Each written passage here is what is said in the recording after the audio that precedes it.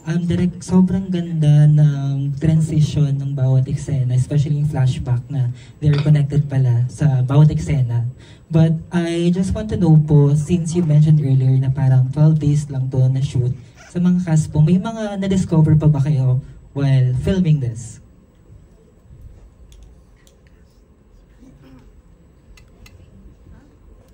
Yes po. Sa isa't isa daw. Oh, um, well, I worked with Jerome na before. I knew he was a good actor before coming to the set. Si Nadine first time. So, sabi na parang si...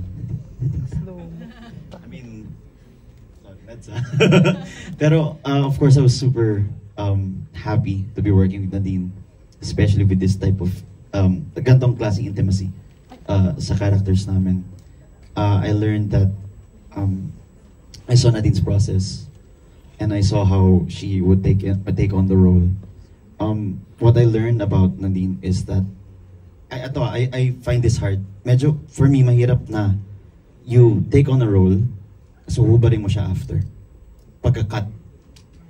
Um, for Nadine, I, I don't think nahihirapan siya dun. Parang ang dali niyang hubarin, tapos ipapasok niya. Nagpa 5-4-3, 5-4-3-2 pa lang si, si um, yung AD namin. Um, I, I saw that for the entire um, shoot day namin with Nadine and uh, I really, really admire that. I hope I can do that more. Um, as per Jerome, um, a lot of it kasi is physical. Lalo na't may altercation kami. Altercation? May ano kami ni, ni Jerome kanina. May, ay, may, sa series.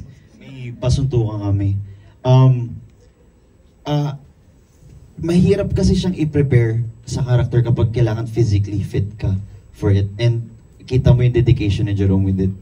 And um, it's always just a pleasure to be working with with these type of actors. And of course, with Direk Ray. And daming veterano sa, sa show. So, it feels such an absolute honor. I remember going into the set, lagi akong parang, uy, shoot na. May, may kita ko yung set, makita ko yung ano. Um, especially yung crew. Crew was wild. Um, hindi, mag-geek out na ako. Pero yun, um, it's, it's, just, it's just, para siyang laro for me. So I was just really happy to be on set uh, majority of the time.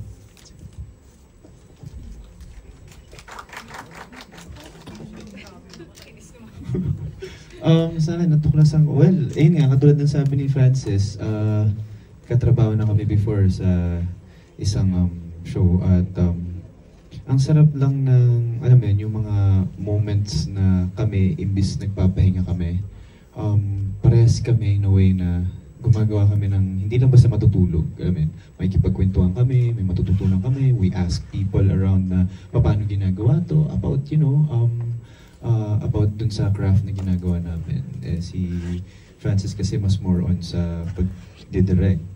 Ako kasi mga tanong ko about movies, ganito, sa shots, tinitingnan ko lang pa paano ginagawa. Um, yun, dun ko natuklasan na parang ang sarap din pala na nakatenga kasama si si Francis na kukwentuhan lang kami. Actually, alam niyo ba, ito, uh, off topic lang sa ano, si Francis pa una sa akin nag-pitch nung Safe Skies Archer eh. Yeah, siya pa. Nagulat ako, sabi niya pa sa akin, alam mo ikaw na yun. Sabi ko, tatlong buwan na ako hindi na binabalikan ng Viva. So, ayun lang. Tapos kinuwento niya sa akin, dami pinagkumentuhan. Anyway, ayun. So, bumalik naman. Um, natuklasan ko din na kay Nadine, uh, actually, alam naman natin yan, na may kanya-kanya naman ng um, sinasabi mga tao. Hindi natin alam, kahit sa akin, kung ano. Doon ko lang natuklasan na masaya ka trabaho si Nadine, mabait, tsaka ano ba, um, very caring sa lahat. Mo, ang ganda ng mga kwentuhan namin ito, pero natuklasan ko din ang hirap din pala sa kanya maging antukin kasi hindi siya nagko-coffee. So, paano yun? Tapos, mahirap din siya kasabay kumain kasi puro gulay. So, paano yun? mahirap din maging kasama sa cast niya. Alam mo, ikaw magpapakain ka, iisipan mo siya, kailangan gulay. Eh, ano to, paano to? Naalala ko na nagpa-pizza. Ayaw nga pala, kailangan ng gulay. Sino din gugulay yan? Uy, eh, pansit canton pa. Naalala ko nung kumakain kami nung... Kumain sila ng pansit canton, hindi na ako niyaya. Ako yata nasa labas ang kwentuhan. Kasi ako missionary sa kanya na parang ganito, ganyan. Alam mo ba yung pansit canton, hindi naman labas. Hindi vegan yan. Yung oil niyan galing sa ganito, ganyan. Sabi niya, what? siguro five minutes, hindi na siya kumain. Sabi, wala na akong magagawa, nakain ko na eh. Pero hindi na talaga ako kakain yan. So yun, ayun. Tapos kay Direk naman, appreciate ko lang po paano yung craft, alam mo yun, bilang isang Direk Ray Red. I mean, sabi ko, ang sarap makatrabaho, gusto ko pa siya makatrabaho. Kaya lagi ko siya hinihiritan. Kapag may role, napadaan lang, pwede na ako dun. Yun.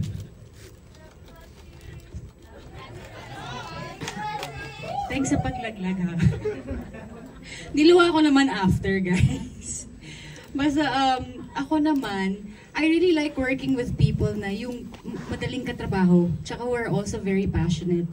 Um, kasi yung situa- yung ex- mga eksena nga namin, lagi pong mainit, lagi kaming nasa labas, ganyan. Really harsh conditions. Pinakamahirap doon yung mainit for everyone. Um, kasi yung init po talaga nung time na yun, yung nakakapanghina na init. So, ang hirap magtrabaho, lalo na if you have to stay outside for a very long time for the scenes, lalo na sa kotse, napakainit po talaga nun. Pero, gusto ko silang ka-work kasi walang nagrereklamo. Even, even the prod, as in, kahit gaano po kainit sa labas, walang nagrereklamo. Everyone is just very passionate and focused on um, you know, finishing the scene with flying colors. O, di ba? Tapos, um, yung kay Francis, sobrang bilib po ako sa kanya nung nag-prosthetic siya, yung nakakover yung eyes niya. Ako talaga kasi ang fear ko is mabulag. So siya not being able to see for more than 8 hours, nag-prosthetics po siya, nag-umpisa siya umaga or tanghali. Tapos birthday pa niya yon. So after nung eksena niya, pagtanggal niya nung prosthetics na mata, may cake kami sa kanya sa harap niya. So you can only imagine kung gaano kahirap na, alam mo yun, makikipag-usap ka sa mga, nakapikit ka lang the whole day. Ako magpapalasyas lang ako one hour, hindi ko kaya. So, ang hirap nung pinagdaanan. And hindi siya nagko-complain and he actually loved it pa. Parang for him, it's it's a it's a good experience nga. And um, kay Jerome naman, you know, kahit gaano kahirap yung naging eksena namin sa um, sa yung fight scene. Yun nga, ma maalikabok, um, mabato. Wala, as in, no one was really complaining. Ang hirap lang nila katrabaho kasi tawa kami ng tawa. So before every scene, pag may nagsabi ng joke or may naisip na thought, natawa na yung isa, magtatawanan na kami. So we have to wait until it's gone bago kami makapush through with the scene. But super love working with everyone. Congratulations po. and We're, we're expecting for part 2.